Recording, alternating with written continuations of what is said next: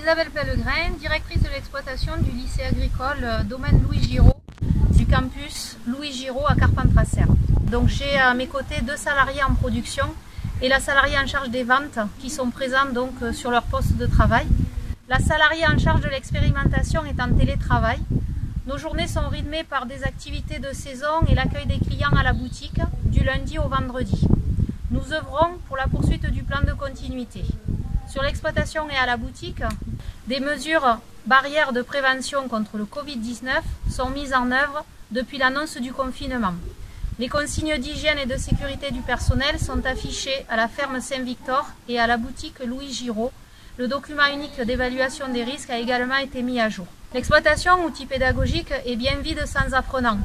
De nombreuses activités planifiées sont assurées depuis le 16 mars, en partie par les personnels de l'exploitation et deux saisonniers recrutés pour une durée de 20 jours, et moi-même.